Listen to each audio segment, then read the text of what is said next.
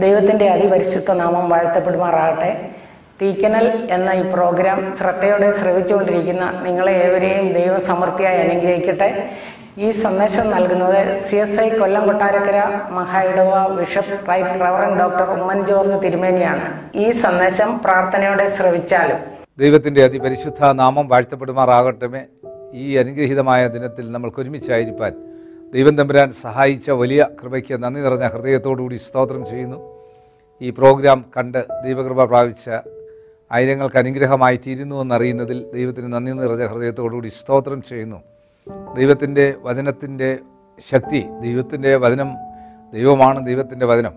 ആ വചനം പ്രഘോഷിക്കുന്നത് അത് കേൾക്കുന്നത് ജീവിതത്തിൽ പ്രായോഗികമാക്കുന്നത് ഏറ്റവും അനുഗ്രഹീതമായ ധന്യമായ നിമിഷങ്ങളാണ് അതുകൊണ്ട് ഈ തീക്കനൽ പ്രോഗ്രാമിനെ സഹായിക്കുന്നവരും കേൾക്കുന്നവരും എല്ലാവരും ഒരുപോലെ അനുഗ്രഹം പ്രാപിക്കുവാൻ സാധിക്കട്ടെ എന്ന് പ്രാർത്ഥിക്കുന്നു.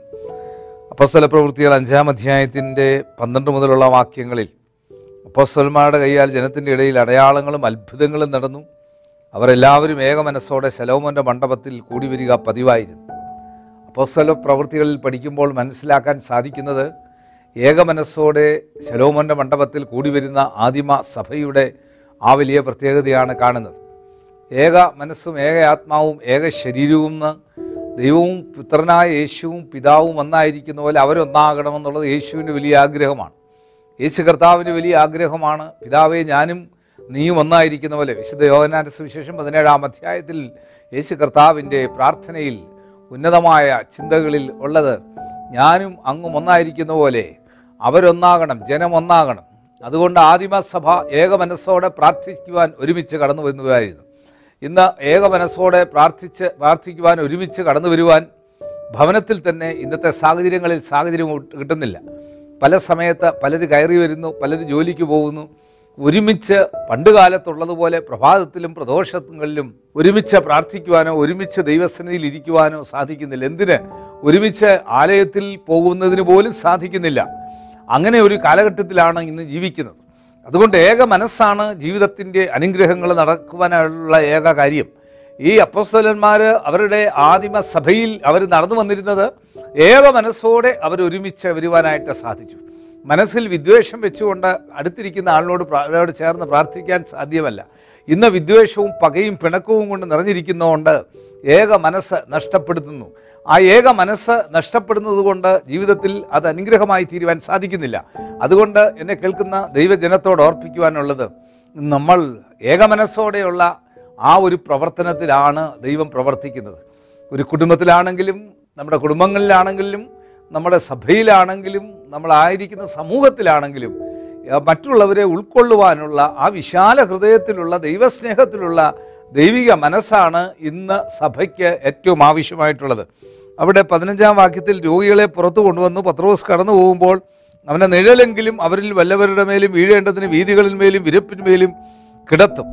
ദൈവത്തിന്റെ സന്നിധിയിൽ പത്രോസിന്റെ നിഴൽ കണ്ടാൽ നിഴൽ കണ്ടാൽ രോഗികൾ സൗഖ്യമാകും. യേശു കർത്താവിന്റെ നിഴലാകുന്ന ഞാനും നിങ്ങളും യേശു കർത്താവിന്റെ ശിഷ്യങ്ങളാകുന്ന ഞാനും നിങ്ങളും നമ്മളുടെ നിഴൽ കണ്ടാൽ ആളുകൾക്ക് ആശ്വാസം പ്രാപിക്കുവാൻ സാധിക്കണം. നമ്മളെ നിഴൽ കണ്ടാൽ ആളുകൾ ഓടി ഒളിക്കരുത്. നമ്മുടെ നിഴൽ കണ്ടാൽ ആശ്വാസം ജനങ്ങൾക്ക് ലഭിക്കുന്ന ഒരു തരത്തിലേക്ക് ദൈവിക സ്നേഹത്തിലേക്ക് വളരുവാനായിട്ട് നമ്മൾക്ക് സാധിക്കണം. അവിടെ മാത്രമേ ദൈവത്തിന്റെ പരിശുദ്ധാത്മാവിന് പ്രവർത്തിക്കാൻ സാധിക്കുകയുള്ളൂ. ദൈവത്തിന്റെ പരിശുദ്ധാത്മാവിന്റെ ശക്തി പ്രവർത്തിക്കാൻ സാധിക്കുകയുള്ളൂ. അതുകൊണ്ട് എന്നെ കേൾക്കുന്ന ദൈവജനത്തോട് ഓർപ്പിക്കുവാനുള്ളത് ഇന്ന് ക്രിസ്തീയ ജീവിതത്തിൽ പത്രോസിനെ പോലെയുള്ള ആളുകളാണ് ഇന്ന് ഉണ്ടാകേണ്ടത് വിശുദ്ധ പത്രോസ് സഭയുടെ ആദ്യത്തെ വാർപ്പാപ്പയാണ്. വിശുദ്ധ പത്രോസിന്റെ പ്രവർത്തനം മുതൽ നൽകപ്പെടുമ്പോൾ ആ ഒരു വലിയ അനുഭവമാണ് ഇന്ന് നമ്മൾക്കുണ്ടാകേണ്ടത്. ആ പത്രോസിന്റെ ജീവിതം പോലെ സഭാ ശുശ്രൂഷകർക്ക് ഉണ്ടാകണം ഞാൻ ഉൾപ്പെടെ എന്നെ ഉൾപ്പെടെയാണ് ഞാൻ പറയുന്നത്. എങ്കിൽ മാത്രമേ ഒരു രൂപാന്തരം നമ്മൾ ക്രൈസ്തവ സഭയുടെ നിഴലിൽ ഒരു സ്വാധീനം ഉണ്ടാക്കിയെടുക്കുവാൻ സാധിക്കുകയുള്ളൂ. അപ്രകാരമുള്ള ആളുകൾക്ക് അത്ഭുതങ്ങൾ കാണുവാൻ അതിശയങ്ങൾ കാണുവാനല്ല. നമ്മുടെ പ്രവർത്തനത്തിൽ പത്രോസിന് പറയാനുണ്ടായിരുന്നത് അപ്രകാരമുള്ള ഒരു അനുഭവമായിരുന്നു. ആ നിഴലിലൂടെ ലോകത്തിന് അനുഗ്രഹം കൊടുക്കുവാൻ സാധിക്കുന്ന പത്രോസിനെ കാണുവാൻ സാധിക്കും. ഇവിടെ വായിക്കുമ്പോൾ പതിനേഴ് വാക്യത്തിൽ പിന്നെ മഹാവിരോധന സദീവിക്കരുടെ പതക്കാരായ അവന്റെ ഭക്ഷകാരും ഒക്കെ അസൂയ നിറഞ്ഞ് എഴുന്നേറ്റ അപ്പസ്തന്മാരെ പിടിച്ച് പൊതു തടവിലാക്കി രാത്രിയിലോ കർത്താവിന്റെ ദൂതൻ കാരാഗ്രഹവാതിൽ തുറന്ന് അവരെ പുറത്തു കൊണ്ടുവന്നു. ഇവിടെ അന്നത്തെ സമൂഹത്തിന് പത്രോസും യേശുവിന്റെ ശിഷ്യഗണങ്ങളും ചേർന്ന് ഇപ്രകാരം ഒരു ശുശ്രൂഷ സംജാതമായി അനേകർക്ക് അനുഗ്രഹമായി തീർന്നപ്പോൾ അവർക്ക് അസൂയ നിറഞ്ഞിട്ട് ഇവരെ തടവിലാക്കുന്നതായിട്ട് കാണുന്നുണ്ട്. ക്രൈസ്തവ സഭയെ ബന്ധിക്കുവാൻ യേശുവിന്റെ ശുശ്രൂഷയെ ബന്ധിക്കുവാൻ ആർക്കും സാധ്യമല്ല. കാരണം യേശു കർത്താവിന്റെ ശുശ്രൂഷ ഏതെങ്കിലും പ്രത്യേകമായി യേശുവിന്റെ കുടുംബത്തിന് വേണ്ടിയോ യേശുവിന്റെ ജാതിക്ക് വേണ്ടിയോ യേശുവിന്റെ യഹൂദന് വേണ്ടി മാത്രമുണ്ടായിരുന്നതല്ല സർവജനത്തിനും ഉണ്ടാകുവാനുള്ള ഒരു മഹാസന്തോഷമായിട്ടാണ് യേശുവിനെ ലോകത്തിലേക്ക് പിതാവായ ദൈവം പുത്രനായി ലോകത്തിലേക്ക് വിശുദ്ധ കന്യകമറിയാമിലൂടെ ലോകത്തിലേക്ക് അയച്ചത്. അപ്പോൾ ഇത് കണ്ട് അസൂയ നിറയുന്ന ഒരു കൂട്ടരെ കാണാൻ സാധിക്കും. ഇന്നും അസൂയ ഒരു പ്രയാസമുള്ള കാര്യമാണ്. ആരുടെയെങ്കിലും നന്മയിൽ അസൂയ വരുന്നത് ഇന്നത്തെ ഒരു മനുഷ്യന്റെ സ്വഭാവ വിശേഷമാണ്. മുമ്പേ ഓർപ്പിച്ചതുപോലെ ഏക മനസ്സോടെ കൂടുവാൻ സാധ്യമല്ലാത്തവർക്ക് അസൂയുണ്ടാകും. ഏക മനസ്സോടെ കൂടുന്നവർക്ക് അവർ കൂടി ഒരുമിച്ച് പ്രാർത്ഥിക്കുമ്പോൾ അവരുടെ നിഴലിൽ യേശു കർത്താവ് അതിശയവും അനുഗ്രഹങ്ങളും പ്രവർത്തിക്കാൻ സാധിക്കും. അവർ നേരിട്ട് ആളെ പോകണ്ട അവരുടെ നിഴലടിച്ചാൽ മതി അവിടെ പ്രവർത്തനങ്ങൾ സജ്ജ സജ്ജമാക്കുകയാണ്. ആ പ്രവർത്തനങ്ങൾ അപ്രകാരമായി തീരുമ്പോഴാണ് അസൂയക്കാർ എഴുന്നേൽക്കുന്നത്. എന്നാൽ അസൂയക്കാർ പിടിച്ച് തടവിലാക്കുകയാണ് ഇവിടെ. ഇവിടെ പത്രോസിനെയും കൂട്ടരെയും തടവിലാക്കുന്നു പക്ഷേ യഹോവയുടെ ദൂതൻ പ്രത്യക്ഷപ്പെട്ട തടവിൽ നിന്ന് അവരെ വിടുവിക്കുന്നതായി കാണുന്നു. തടവിൽ നിന്ന് വിടുവിക്കുന്ന ദൈവത്തിന്റെ പരിശുദ്ധാത്മാവുണ്ട്. ലോകം നമ്മളെ തടവിലാക്കിയാൽ ലോകം എന്നെയും നിങ്ങളെയും നന്മയ്ക്ക് തടവിലാക്കിയാൽ തടവിൽ തടവറയിലാക്കുവാൻ നമ്മളെ കൊണ്ട് പലതും ചെയ്യിക്കാതിരിക്കാനുള്ള കാര്യങ്ങൾ ചെയ്യുമ്പോൾ യഹോവയുടെ ദൂതൻ ഇടപെട്ട് അതിൽ നിന്നും വിജയം കൊടുക്കുവാനായിട്ട് സാധിക്കുന്നത് മനസ്സിലാക്കാൻ സാധിക്കും. അതിൽ നിന്നൊരു വിജയം കൊടുക്കുന്നത് യഹോവയുടെ ദൂതന്റെ അനുഭവമാണ്. അതുകൊണ്ട് നിരാശപ്പെട്ട് ഭാരപ്പെട്ട തടവിൽ കഴിയുന്നുവെന്ന ജീവിതത്തിന്റെ വിവിധ മേഖലകളിലുള്ള തടവിൽ കഴിയുന്നുവെന്ന് നിങ്ങൾക്ക് തോന്നുന്നുവെങ്കിൽ ദൈവത്തിന്റെ പരിശുദ്ധാത്മാവ് ഈ ദിനത്തിൽ ഓർപ്പിക്കുന്നു. ആ തടവിൽ നിന്ന് നിങ്ങളെ വിമോചിപ്പിക്കുന്ന ദൈവത്തിന്റെ ദൂതനുണ്ട്. വിശ്വസിച്ച് ദൈവസന്നിധിയിൽ ഇരുന്നാൽ ഏകമനസ്സോടെ ദൈവസന്നിധിയിൽ പ്രാർത്ഥനയോടെ ഇരിക്കുമ്പോൾ ദൈവം ദൂതനെ അയച്ച് ആ തടവിൽ നിന്ന് വിടുവിക്കുന്ന വിടുവിക്കപ്പെടുന്ന അനുഭവം ഉണ്ടാകുവാനായിട്ട് സാധിക്കും. ദൈവസന്നിധിയിൽ മഹാപുരോഹിതന്മാരോട് വന്ന് ന്യായാധിപ സംഘത്തെ ഇസ്രായേൽ മക്കളെ എല്ലാവരെയും വിളിച്ചു. അവർ വന്നപ്പോൾ കാരാഗ്രഹ സൂക്ഷിപ്പുകാരും പൂട്ടിയിട്ടിരിക്കുന്നതും കാവൽക്കാൽ വാതിൽ നിൽക്കുന്നതും ഞങ്ങൾ കണ്ടു. തുറന്നപ്പോഴാകെ താരയും കണ്ടില്ല എന്ന് അറിയിച്ചു. ഈ വാക്ക് കേട്ടിട്ട് ദേവാലയത്തിലെ പടനായകനും മഹാപുരോഹിതന്മാരും ഇതെന്തായി തീരുമെന്ന് അവരെക്കുറിച്ച് സഞ്ചലിച്ചു അപ്പോൾ ഒരുത്തൻ വന്ന് നിങ്ങൾ തടവിലാക്കിയ പുരുഷന്മാർ ദേവാലയത്തിൽ നിന്നുകൊണ്ട് ജനത്തെ ഉപദേശിക്കുന്നുവെന്ന് ബോധിപ്പിച്ചു. തടവിലാക്കിയ പുരുഷന്മാർ ദേവാലയത്തിൽ അവർ ശുശ്രൂഷിക്കുകയാണ്. ഒരാളുടെ ശുശ്രൂഷയെ ഒരാൾക്ക് തടസ്സപ്പെടുത്തുവാൻ സാധ്യമല്ല. ആർക്കും സാധ്യമല്ല. ശുശ്രൂഷ അനുഗ്രഹമാണെങ്കിൽ സ്വാർത്ഥ ലാഭത്തിന് വേണ്ടിയുള്ള ശുശ്രൂഷ അല്ലെങ്കിൽ ഏതെങ്കിലും പ്രത്യേകതയ്ക്ക് വേണ്ടിയുള്ള ശുശ്രൂഷ അല്ലെങ്കിൽ ആത്മാർത്ഥതയോടെ ശുശ്രൂഷ ചെയ്യുന്നവരുടെ ശുശ്രൂഷകളെ തടസ്സമാക്കുവാൻ സാധ്യമല്ല. ലോകത്തിന്റെ പ്രവർത്തനങ്ങളിലാണെങ്കിലും ക്രിസ്തീയ പ്രവർത്തനങ്ങളിലാണെങ്കിലും യേശുവിന്റെ പ്രവർത്തനങ്ങളിൽ മാത്രമല്ല ഞാൻ ഉദ്ദേശിക്കുന്നത്. ഏത് പ്രവർത്തനങ്ങൾ ഭംഗിയായി ചെയ്യുവാൻ ആഗ്രഹിക്കുന്നുവോ ആ പ്രവർത്തനങ്ങൾക്ക് വിഘാതം ഇടുന്നവർ ആ പ്രവർത്തനങ്ങളെ മരവിപ്പിക്കുന്നവർ അപ്രകാരമുള്ള പ്രവർത്തനങ്ങളെ മുന്നോട്ട് കൊണ്ടുപോകാതെ അതിനെ ബ്രേക്ക് ചെയ്യിക്കുന്നവർ അതിൽ നിന്ന് ദൈവം അവരെ വിടുവിച്ച് ആ പ്രവർത്തനങ്ങളെ മാറ്റുവാൻ സാധിക്കും. അതുകൊണ്ട് ഒരാൾ ഏതെങ്കിലും നന്മ ചെയ്യുമ്പോൾ ആ നന്മയ്ക്ക് സപ്പോർട്ട് ചെയ്യണം. കുറവുകളും കുറ്റങ്ങളും ഉണ്ടെങ്കിൽ ആ ആൾ ദൈവത്തോട് തീർത്തോളും. നമ്മളെ വിധിക്കുവാൻ ഏൽപ്പിച്ചിട്ടില്ല. അങ്ങനെ അസൂയയില്ലാത്ത ഒരാൾക്കേ അത് സാധിക്കുകയുള്ളൂ. ഏകമനസ്സോടെ കൂടി വരുന്ന ഒരാളിന് മാത്രമേ അത് സാധിക്കുകയുള്ളൂ.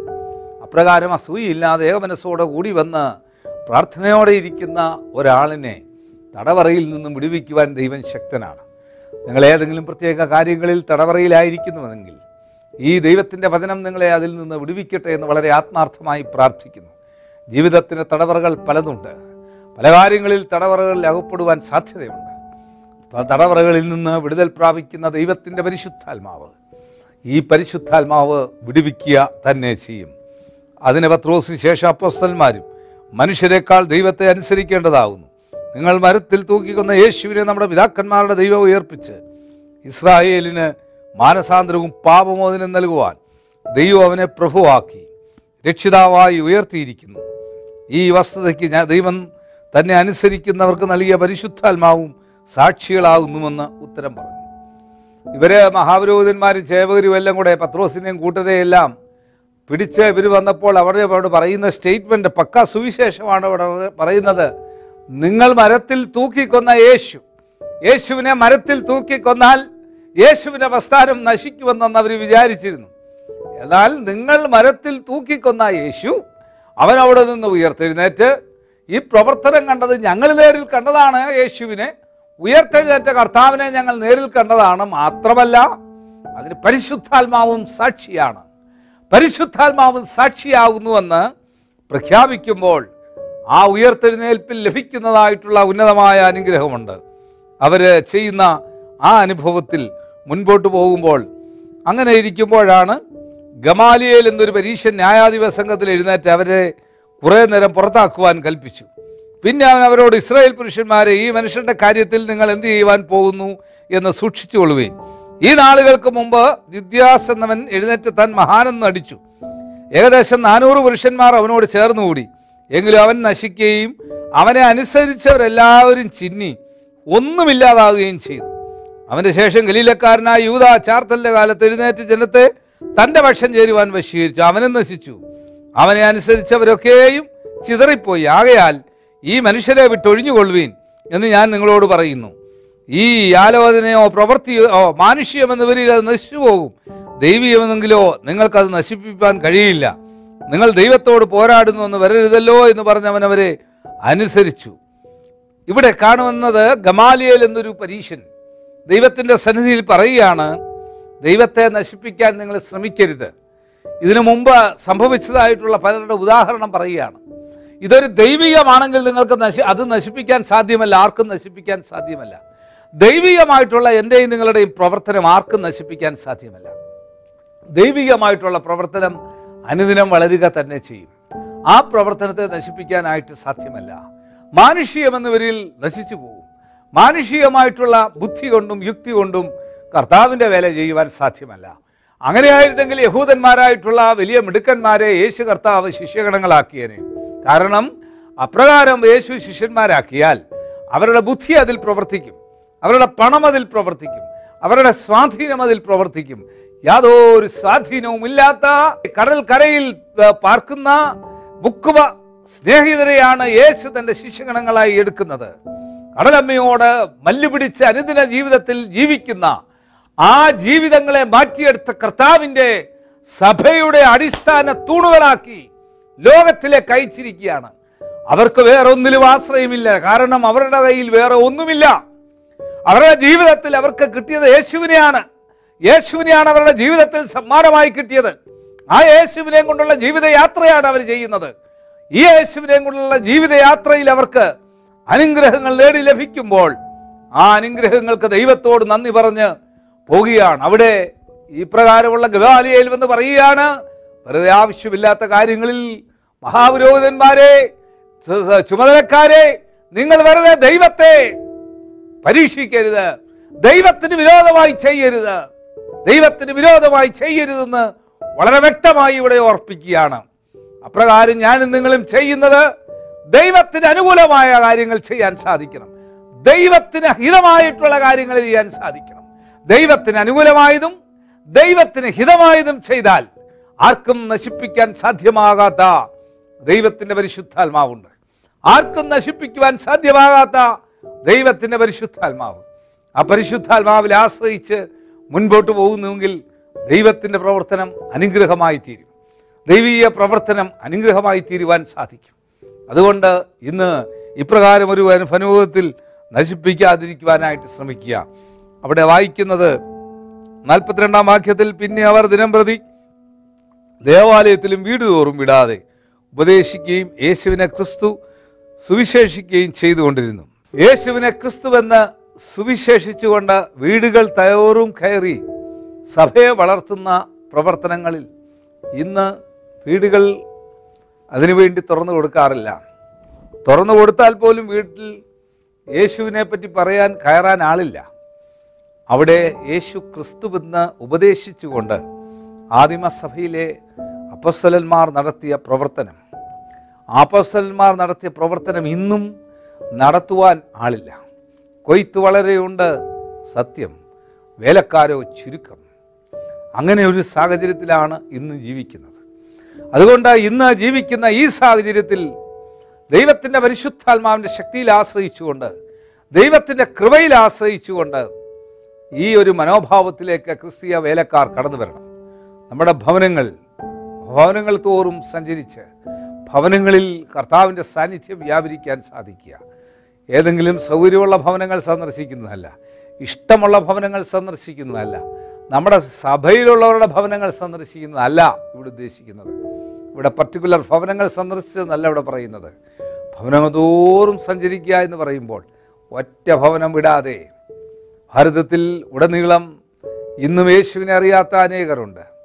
ഭാരതത്തിൽ യേശുവിനെ പ്രഘോഷിക്കുവാൻ യേശു കർത്താവിനെ പ്രഘോഷിക്കുവാനായിട്ട് നമ്മൾക്ക് സാധിക്കണം. യേശു കർത്താവിനെ കൊടുക്കുവാൻ സാധിക്കണം. അവിടെയാണ് സാമൂഹികമായി വളർച്ച പ്രാപിക്കാനായിട്ട് സാധിക്കുന്നത്. സാമൂഹികമായി വളർച്ച പ്രാപിക്കാൻ സാധിക്കുന്ന അവിടെയാണ്. ദൈവത്തിന്റെ പരിശുദ്ധാത്മാവിൽ ഒരു സാമൂഹിക വളർച്ച പ്രാപിക്കുവാൻ ദൈവം സാധ്യത കൊടുക്കുന്നത് അവിടെയാണ്. ആറാം അധ്യായം വായിക്കുമ്പോൾ ആകയാൽ സഹോദരന്മാരെ ആത്മാവും ജ്ഞാനവും നിറഞ്ഞ് നല്ല സാക്ഷ്യമുള്ള ഏഴ് പുരുഷന്മാരെ നിങ്ങളിൽ തന്നെ തിരഞ്ഞുകൊള്ളുവേൻ. കാരണം സഭ വളരുന്നു. ഈ പന്ത്രണ്ട് ശിഷ്യന്മാരിൽ ഒരുത്തൻ മാറിപ്പോയി. പതിനൊന്ന് ശിഷ്യന്മാരെ കൊണ്ട് പ്രവർത്തനങ്ങൾ നിയന്ത്രിക്കാൻ കഴിയുന്നില്ല. അപ്പോഴേക്കും ഏഴ് പേരെ നിയോഗിക്കുവാനുള്ള ഒരു നിയോഗ ശുശ്രൂഷ അവിടെ ആഹ്വാനം ചെയ്യുകയാണ്. നിയോഗ ശുശ്രൂഷ എന്ന് പറയുമ്പോൾ നിയോഗം ശുശ്രൂഷിക്കുന്നത് ദൈവനിയോഗമാണ്. ഏതെങ്കിലും ശുശ്രൂഷയിലേക്ക് നമ്മളെ വിളിക്കുന്നത് അത് ദൈവത്തിന്റെ നിയോഗമാണ്. ദൈവനിയോഗപ്രകാരമല്ലാതെ ഒരു ശുശ്രൂഷയിലേക്കും ആർക്കും വരുവാനായിട്ട് സാധ്യമല്ല. ദൈവികമായ ശുശ്രൂഷ മുഴുവൻ ദൈവത്തിന്റെ നിയോഗമാണ്. ദൈവത്തിന്റെ നിയോഗത്താൽ മാത്രമേ ദൈവിക ശുശ്രൂഷയുടെ ഭാഗമായി തീരുവാനായിട്ട് സാധിക്കുകയുള്ളൂ. അവർക്ക് വഹിക്കാൻ വയ്യാത്തതിന് ഏഴുപേരെ അവരെ തിരഞ്ഞെടുക്കുന്നത് കാണുവാനായിട്ട് സാധിക്കും. അവരെ ഈ വാക്ക് കേട്ട് ബോധ്യമായി പരിശുദ്ധാത്മാവ് നിറഞ്ഞ പുരുഷനായ സ്തേപ്പാനോസ് ഫിലിപ്പോസ് പ്രോഖോരോസ് നിക്കോനാദിമോൻ പർമോസ് യഹൂദ മതാനുസാരിയായ അന്ത്യോക്യക്കാരൻ നിക്കോലാവാസ് എന്നിവരെ തിരഞ്ഞെടുത്തു. അപ്പോസ്തലന്മാരുടെ മുമ്പാകെ നിർത്തി അവർ പ്രാർത്ഥിച്ച് അവരുടെ മേൽ കൈവച്ചു. ഈ പേര് പറഞ്ഞ ഏഴുപേരുടെ മേലും പ്രാർത്ഥിച്ച് കൈവച്ചപ്പോൾ അവർക്ക് പരിശുദ്ധാത്മാവിനെ പ്രാപിക്കാനായിട്ട് സാധിച്ചു. അവർക്ക് പരിശുദ്ധാത്മാവിനെ പ്രാപിക്കാൻ സാധിച്ചപ്പോൾ അവരിലൂടെ സഭ വീണ്ടും വളരാൻ തുടങ്ങി. പഴയ പതിനൊന്ന് മാത്രമല്ല. ഈ നറുക്കിട്ടെടുത്ത ഒരാളുണ്ട്. ആ പന്ത്രണ്ടും കൂടെ കൂട്ടിയാലും പന്ത്രണ്ട് വീഴും പത്തൊൻപത് പേര് സഭയുടെ വളർച്ചയുടെ അനുഭവം പങ്കുവയ്ക്കുകയാണ്. ദൈവദിനം പരന്നു. എരുസലേമിലും ശിഷ്യന്മാരുടെ എണ്ണം ഏറ്റവും പെരുകി. പുരോഹിതന്മാരിലും വലിയൊരു കൂട്ടം വിശ്വാസത്തിന് അധീനരായി തീർന്നു അന്നത്തെ ശാസ്ത്രിമാരും പരീശന്മാരും മഹാപുരോഹിതന്മാരും ഈ മാർഗത്തെ അനുസരിച്ച് കടന്നു വരുവാനായിട്ട് സാധിച്ചു. ഈ മാർഗത്തിലേക്ക് അവർക്ക് കടന്നു വരുവാൻ സാധിച്ചു. ഈ മാർഗത്തിലേക്ക് കടന്നു വരുവാനുള്ള വലിയൊരു ആഹ്വാനം അവർക്കുണ്ടായി. ഈ മാർഗത്തിലേക്ക് കടന്നു വരുവാനുള്ള താല്പര്യം ജനിക്കുവാനായിട്ട് സാധിച്ചു. അതുകൊണ്ട് ഈ താല്പര്യം ഉണ്ടാകുവാൻ ശരിയായിട്ടുള്ള പ്രവർത്തനങ്ങൾ കൊടുക്കുമ്പോൾ അതിലേക്ക് താല്പര്യത്തോടെ ആളുകൾ വരും. അതിന് അസൂയപ്പെട്ടിട്ട് കാര്യമില്ല. ഞാൻ മുമ്പ് ഓർപ്പിച്ചതുപോലെ സഭയ്ക്ക് ഇന്ന് സംഭവിച്ചിരിക്കുന്നത് ഈ പത്രോസിന്റെ നിഴൽ വീണാൽ സൗഖ്യമാക്കുന്ന പത്രോസുമാരില്ല എന്നുള്ളത് ഇന്നത്തെ സഭയ്ക്കിന്റെ ശോച്യാവസ്ഥയാണ് അതുകൊണ്ട് ദൈവത്തിന്റെ സന്നിധിയിൽ ഇത് സാധ്യമായി തീരുമ്പോൾ ഞാൻ എന്നെയും നിങ്ങളെയും ദൈവം നിയോഗിച്ചിരിക്കുന്നതാണ്. ഇവിടെ ഏഴ് പേര് ഏഴ് പേരെ തിരഞ്ഞെടുത്തിരിക്കുന്നത് ദൈവത്തിന്റെ നിയോഗമാണ്. ഈ ദൈവത്തിന്റെ നിയോഗമാണ് അവരുടെ മേൽ പ്രാർത്ഥിച്ച് കൈവച്ച് അവരെ ലോകത്തിലേക്ക് അയക്കുന്നതായിട്ടാണ് കാണുന്നത്. നമ്മൾക്ക് ലഭിച്ചിരിക്കുന്ന നിയോഗങ്ങളുണ്ട്. നമ്മളെ നിയോഗിച്ചിരിക്കുന്ന ആ നിയോഗത്തിൽ സാധ്യമായി തീരാനായിട്ട് സാധിക്കണം. അപ്പോൾ അപ്രകാരം ദൈവത്തിന്റെ സന്നിധിയിൽ അവർ ദിനം പ്രതി അവർ അവരുടെ മേൽ ദൈവത്തിന്റെ ശക്തി അവരുടെ മേൽ വന്നു. അപ്പോഴാണ് സ്തേപ്പാനോസ് കൃപയും ശക്തിയും നിറഞ്ഞവനായി ജനത്തിൽ വലിയ അത്ഭുതങ്ങളും അടയാളങ്ങളും ചെയ്തു. അതിൽ ഏഴുപേരിൽ തിരഞ്ഞെടുത്ത സ്തേപ്പാനോസ് കർത്താവിന് വേണ്ടി ഏറ്റവും കഷ്ടം സഹിച്ച് കല്ലേറ് കൊണ്ട് മരിച്ച ആളാണ്. യേശു കർത്താവ് പോ എന്ന് പ്രാർത്ഥിച്ചതുപോലെ പ്രാർത്ഥിച്ച ആളാണ്. പിതാവേ ഇവരുടെ കുറ്റം ഇവർ ചെയ്യുന്ന ഈ കുറ്റം ഇവരുടെ മേലോ ഇവരുടെ തലമുറകളുടെ മേലോ നിൽക്കരുതേ എന്ന് പ്രാർത്ഥിച്ച ആത്മാവിനെ സ്വർഗത്തിൽ കൈക്കൊണ്ട് യേശു കർത്താവ് എഴുന്നേറ്റ ആ സീറ്റ് കൊടുത്ത് അവിടെ ഇരുത്തിയ സംഭവമാണ് കാണുവാനായിട്ട് സാധിക്കുന്നത്. ആ പതിനൊന്നാം വാക്യം വരുമ്പോൾ വായിക്കുമ്പോൾ ഇവൻ മോ ഇവർക്ക് അപ്പോൾ ചില പുരുഷന്മാരുടെ വശത്താക്കി ഇവൻ മോശയ്ക്കും ദൈവത്തിനും വിരോധമായി ദൂഷണം പറയുന്നത് ഞങ്ങൾ കേട്ടു എന്ന് പറയിച്ചു. ജനത്തെയും മൂപ്പന്മാരെ ശാസ്ത്രിമാരെ ഇളക്കി അവന്റെ നേരെ ചെന്ന് അവനെ പിടിച്ച് ന്യായാധിപ സംഘത്തിൽ കൊണ്ടുപോയി. കള്ളസാക്ഷികളെ നിർത്തി ഈ മനുഷ്യൻ വിശുദ്ധ സ്ഥലത്തിനും ന്യായപ്രമാണത്തിനും വിരോധമായി ഇടപെടാതെ സംസാരിച്ചു വരുന്നു. ആ നസ്രയനായ യേശു സ്ഥലം നശിപ്പിച്ച് മോശ നമുക്കേൽപ്പിച്ച മര്യാദകളെ മാറ്റിക്കളയുമെന്ന് അവൻ പറയുന്നത് ഞങ്ങൾ കേട്ടുവെന്ന് പറയിച്ചു. ന്യായാധിപ സംഘത്തിൽ ഇരുന്നവരെല്ലാവരും അവനെ ഉറ്റുനോക്കി. അവന്റെ മുഖം ഒരു ദൈവദൂതന്റെ മുഖം പോലെ ആയിട്ട് സാധിച്ചു. ആരോപണങ്ങൾ ദൈവത്തിന്റെ സന്നിധിയിൽ ഉണ്ടാകുന്നു. ആരോപണങ്ങൾ ഉണ്ടാകുന്നു. നമ്മളുടെ വ്യക്തിപരമായ ജീവിതങ്ങളിൽ സത്യസന്ധമായി പ്രവർത്തിക്കുമ്പോൾ നന്മ ചെയ്തുകൊണ്ട് മുൻപോട്ട് പോകുമ്പോഴും ആരോപണങ്ങൾ ഉണ്ടാകുവാൻ സാധ്യതയുണ്ട്. ആരോപണം ഉണ്ടാകുന്ന സാധ്യതകളിൽ മനസ്സ് തളർന്നു പോകരുത്. ഇവിടെ താഴോട്ട് വായിക്കുമ്പോൾ അവന്റെ മുഖമോ ഒരു ദൈവത്തിന്റെ മുഖം പോലെ ശോഭിച്ചിരുന്നു. ശോഭയുള്ള മുഖമായി തീരുവാൻ സാധിച്ചത് അപ്രകാരം സ്തേപ്പാനോസിന്റെ മുഖം ശോഭയുള്ളതായി തീരാൻ ശോ ശോഭയുള്ളതായി തീരുവാനായിട്ട് സാധിക്കുന്നത്. മറ്റുള്ളവരെന്തെങ്കിലും പറഞ്ഞ് പറഞ്ഞാൽ മാനുഷികമായി തളർന്നു പോകുന്നവരുണ്ട്. പൂർണമായി തളർന്ന് തകർന്നു പോകുന്നവരുണ്ട്. അവർക്ക് നിൽക്കാൻ സാധ്യമല്ലാതെ നിൽക്കുന്നവരുണ്ട്. അതുകൊണ്ട് നിൽക്കാൻ സാധ്യമല്ലാതെ നിൽക്കുന്ന ദൈവജനം. അങ്ങനെ സാധ്യമല്ല. ദൈവത്തിന്റെ പരിശുദ്ധാത്മാവിൽ ഏതിനെയും ഫേസ് ചെയ്യാനുള്ള ദൈവശക്തി വേണം. ഏതിനെ അതിജീവിക്കുവാനുള്ള ദൈവകൃപ വേണം. ഏതിനെയും അതിജീവിച്ച് മുൻപോട്ട് നീങ്ങുവാനുള്ള ദൈവത്തിന്റെ കൃപ ആവശ്യമാണ്. അതുകൊണ്ട് ദൈവത്തിന്റെ പരിശുദ്ധാത്മാവിൽ പ്രവർത്തിക്കുമ്പോൾ അതിനെ ആ- ദൈവദൂതന്റെ മുഖം പോലെ ശോഭിക്കുവാനായിട്ട് സാധിക്കും ആ ദൈവദൂതന്റെ മുഖം ലഭിച്ച ആ ശോഭ എനിക്കും നിങ്ങൾക്കും ഉണ്ടാകുമ്പോൾ മാത്രമേ ദൈവത്തിന് നമ്മളിൽ വലിയ കാര്യങ്ങളെ ചെയ്യാൻ സാധിക്കുകയുള്ളൂ. ദൈവത്തിന് വൻ കാര്യങ്ങളെ ചെയ്യാൻ സാധിക്കുകയുള്ളൂ. അത് ടെൻസ്ഡ് ആകാതിരിക്കണം. മാനുഷികമായി വിഷാദം സംഭവിക്കരുത്. വിഷാദം സംഭവിച്ചാൽ പെട്ടെന്ന് നമ്മുടെ മനസ്സ് മനസ്സ് മാറുമ്പോൾ നമ്മുടെ മുഖത്ത് അത് അറിയാൻ സാധിക്കും. മുഖം മനസ്സിന്റെ കണ്ണാടി എന്ന് പറയുമല്ലോ. അതുകൊണ്ട് മുഖത്താണ് ഈ പ്രയാസം അറിയുന്നത്. ഇന്ന് ലോകത്തിൽ മനുഷ്യന് ചിരിയില്ല കരച്ചിലില്ല മുഖത്ത് പ്രസാദവും ഇല്ല ആർക്കും ഒരു പ്രസാദവും ഇല്ല. മേക്കപ്പും മറ്റ് കാര്യങ്ങളും എല്ലാം ഉണ്ട്. സംവിധാനങ്ങളെല്ലാം ഉണ്ട്. പക്ഷെങ്കിൽ ഹൃദയത്തിൽ സന്തോഷമില്ലാത്തത് കൊണ്ട് അത് മുഖത്ത് പ്രസാദമില്ലാതിരിക്കുന്നു. ദൈവത്തിൽ ആശ്രയമില്ലാത്തത് കൊണ്ട് മുഖത്ത് പ്രസാദമില്ലാതിരിക്കുന്നു മറ്റ് കാര്യങ്ങളിലാണ് ആശ്രയം. ദൈവത്തിൽ ആശ്രയം വയ്ക്കുന്ന ശിഷ്യന്മാരുടെ സ്തേപ്പാനോസിന്റെ പത്രോസിന്റെ ബർണവാസിന്റെ ഇവിടൊക്കെ പഠിച്ചാൽ മനസ്സിലാക്കുന്നത് യേശു കർത്താവിന്റെ ശിഷ്യന്മാരുടെ എന്തിനാ ആദ്യം ദൈവസന്നിധിയിൽ ഹൊറേബിലേക്ക് വിളിച്ച മോശയുടെ മുഖം ദൈവദൂതിനെ തുല്യമായിട്ട് പ്രകാശിച്ചതുപോലെ മോശയുടെ ത്വക്ക പ്രകാശിച്ചതുപോലെ ദൈവത്തെ നേരിൽ കണ്ടുമ്പോൾ മാത്രമേ പ്രകാശിക്കാൻ സാധിക്കൂ. എങ്ങനെയാണ് ദൈവത്തെ നേരിൽ കാണുന്നത്? നമ്മൾ ആലയങ്ങളിൽ പോയി കാണുന്നതാണോ ദൈവത്തെ നേരിൽ കാണുന്നത്? ദൈവത്തിന് ഇഷ്ടമുള്ള പ്രവൃത്തി ചെയ്യണം. ദൈവത്തെ പ്രസാദിപ്പിക്കുന്നത് ദൈവത്തിന് ഇഷ്ടമുള്ള പ്രവൃത്തിയാണ്. ഇഷ്ടമില്ലാത്ത പ്രവൃത്തി ചെയ്യരുത്. യേശു കർത്താവ് പറഞ്ഞു ഞാൻ രോഗിയായിരുന്നു നഗ്നനായിരുന്നു വിശക്കുന്നവനായിരുന്നു ഒന്നു ജയിലിലായിരുന്നു തടവറയിലായിരുന്നു. നിങ്ങൾ എന്നെ കാണാൻ വന്നില്ല. ഞങ്ങൾ അങ്ങനൊന്നും കണ്ടില്ലല്ലോ. നിങ്ങൾ അപ്രകാരം ഒരുത്തർ എന്തെങ്കിലും ചെയ്തെങ്കിൽ അതാണ് യഥാർത്ഥമായിട്ടുള്ള ഒരു mission mission to the least അർഹതയില്ലാത്തവർക്ക് യാതൊരു സ്വാധീനമില്ലാത്തവർക്ക് അവർക്ക് നന്മ കഴിയുവാനായിട്ട് എന്റെയും നിങ്ങളുടെയും ഹൃദയങ്ങളെ മനസ്സ് മാറുന്നുവെങ്കിൽ അവിടെയാണ് നമ്മളുടെ മുഖം പ്രകാശിക്കുന്നത്. അവിടെയാണ് നമ്മളുടെ തൊക്ക പ്രകാശിക്കുന്നത്. അവിടെയാണ് ദൈവത്തിന്റെ പരിശുദ്ധാത്മാവ് പ്രവർത്തിക്കുന്നത്. ആരോപണ വിധേയമായി മനസ്സ് തകർന്ന് തളർന്നു പോകാതെ നമ്മളുടെ മുഖം പ്രകാശിക്കണം. സന്തോഷം ആത്മീയ സന്തോഷം ലഭ്യമായി തീരണം ഇതിലൂടെയെല്ലാം അതാണ് കാണുവാനായിട്ട് സാധിക്കുന്നത്. ഏകമനസ്സോടെ കൂടി വരുന്ന വ്യക്തി ജീവിതങ്ങൾക്ക് അപ്രകാരം ഏകമനസ്സോടെ വരുമ്പോൾ ദൈവത്തിന്റെ അനുഭവം പുതിയ നിയമ സഭയുടെ അനുഭവത്തിൽ സഭയുടെ ആ ആ പ്രകാരമുള്ള നിഴൽ ലഭിക്കാൻ സാധിക്കും. പുറത്തുള്ളവർക്കൊരു നിഴൽ കൊടുക്കാൻ സാധിച്ചാൽ അസൂയക്കാരുണ്ടായേക്കാം ശുശ്രൂഷ തടസ്സപ്പെടുത്തുന്നവരുണ്ടായേക്കാം. എന്നാൽ ദൈവത്തെ നശിപ്പിക്കാനോ ദൈവത്തെയോ ദൈവത്തിന്റെ ശുശ്രൂഷകളെയോ നശിപ്പിക്കുവാൻ സാധ്യമല്ല. ശുശ്രൂഷ നിൽക്കും എന്ന് ഭാരപ്പെടുന്നവരുണ്ടെങ്കിൽ ജീവിതത്തിൽ പല കാര്യങ്ങളിൽ ബ്രേക്കിൽ വന്ന് നിൽക്കുന്നവരുണ്ടെങ്കിൽ ഏതെങ്കിലും ഗേറ്റ് അടച്ചിട്ടിരിക്കുന്ന ഗേറ്റുകൾ നിങ്ങൾക്കെതിരായിട്ടുണ്ടെങ്കിൽ അത് തുറക്കുന്ന അത്ഭുതം പ്രവർത്തിക്കുന്ന ദൈവമുണ്ട്. അത് തുറക്കുന്ന അനുഗ്രഹം പ്രവർത്തിക്കുന്ന ദൈവമുണ്ട്. ദൈവത്തിന്റെ പരിശുദ്ധാത്മാവ് പ്രവർത്തിക്കുന്നത് അവിടെയാണ്. ആത്മാവും ജ്ഞാനവും നിറഞ്ഞ് നല്ല സാക്ഷ്യമുള്ള ഏഴ് പുരുഷന്മാരെ തെരഞ്ഞെടുത്ത് ശുശ്രൂഷ വർദ്ധിപ്പിക്കുമ്പോൾ അവരുടെ ശുശ്രൂഷകളിൽ ആരോപണങ്ങൾ അയച്ച് അവരുടെ അവരെ നശിപ്പിക്കാൻ ശ്രമിക്കുമ്പോഴും അവരുടെ മുഖം പ്രകാശിക്കുന്നതായിട്ട് കാണുന്നു. അവരുടെ മുഖം അവരുടെ തൊക്കെ പ്രകാശിക്കുന്നതായിട്ട് കാണുന്നു.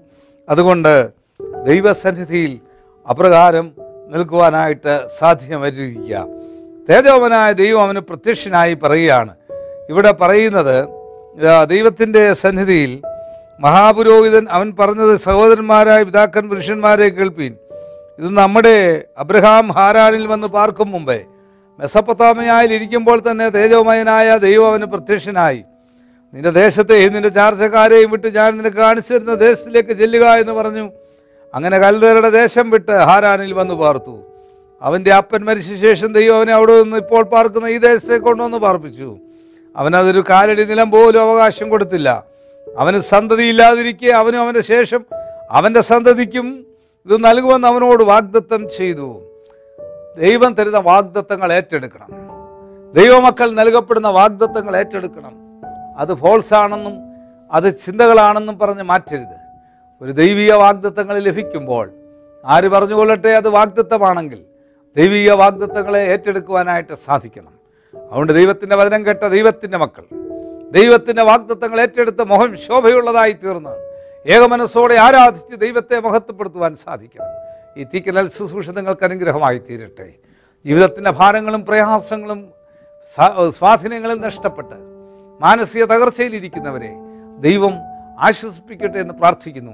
കണ്ണുകളടയ്ക്കാൻ പ്രാർത്ഥിക്കാം.